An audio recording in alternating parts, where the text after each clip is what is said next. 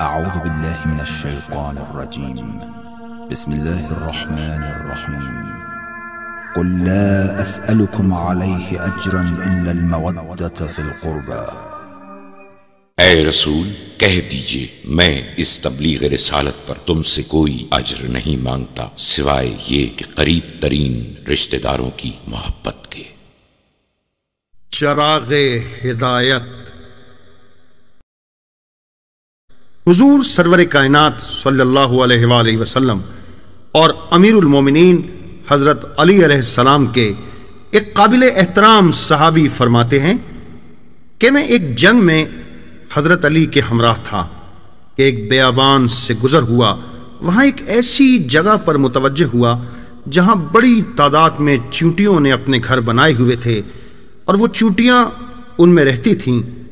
मैंने देखकर अर्ज़ किया या अली क्या खुदा की मखलूक़ात में से कोई ऐसा है जो इन चींटियों की तादाद को जानता हो? इमाम ने फरमाया हाँ। मैं एक ऐसे शख्स को जानता हूँ कि जो न सिर्फ़ इन चीटियों की तादाद जानता है, बल्कि वो ये भी जानता है कि इनमें से नर कितने हैं और इनमें से मादा कितनी हैं। वो साहबी रसूल जो कि इस बात को सुनकर मुताजिब हो गए थे, उन्होंने पूछा, ए अमीरुल मोमिनीन, आखिर वो शख्स है कौन? हजरत ने फरमाया क्या तुमने सूरह मुबारक यासीन में इस आयत की तिलावत नहीं की जिसमें इरशाद है कि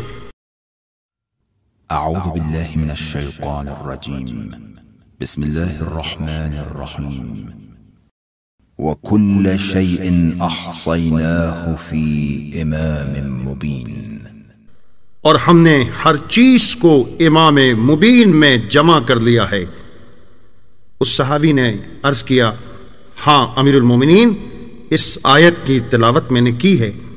आपने फरमाया ए शख्स, जान लो और आगाह हो जाओ कि वो इमाम मुबीन मैं ही हूँ।